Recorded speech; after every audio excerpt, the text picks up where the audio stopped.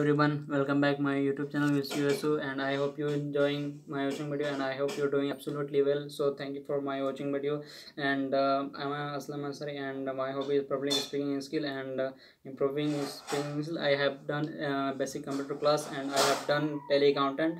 So keep watching my video and uh, i'm going to tell you um, improving what what is languages. So my follow my video and just uh, keep it up. So i'm gonna to tell you what's the um, thing uh, listen carefully. Uh, today i'm going to tell you english expression on speaking terms you know? So just uh, keep watching. On speaking terms. This expression is on speaking terms. To be friend. Okay guys? To be friend someone and not be angry at someone. Okay? Not be angry someone. This expression is mostly used in the uh, at uh, someone and the this expression is mostly used in the negative way so not on speaking terms. This uh, means at that you are not friendly and you are angry at someone and won't talk to that uh, person. Now listen to a dialogue between two friends talking about a uh, talking about a friends okay and siblings you know and colleague.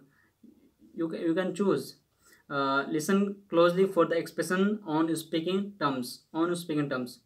Listen carefully don't skip this video. Uh, i hope you found this video. So hey bro how's your brother doing? Okay. Hey bro. Hey bro how's your brother doing? I have no idea. I have no idea. You can say i have no idea. We had a five six month ago and i haven't spoken to him since okay hey bro how's your brother doing? You can say i have no idea. We had a five six month ago i and i haven't spoken to him since. So you are not on speaking terms again. Okay so you are not on speaking terms again. What happened this time? What happened this time? It was just something stupid. It was just something stupid. To be honest i can't ever remember what the fight was about. To be honest i can't ever remember what the fight was about what about your sister? Are you on speaking terms with her?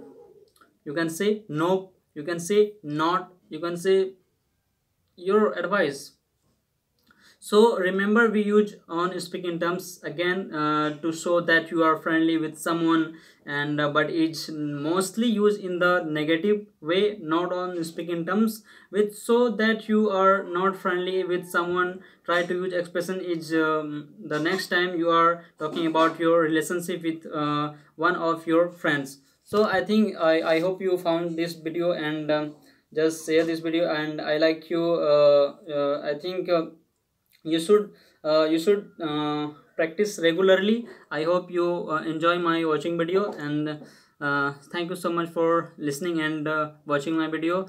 And uh, just subscribe my youtube channel and like this and press this press bell icon for never miss update.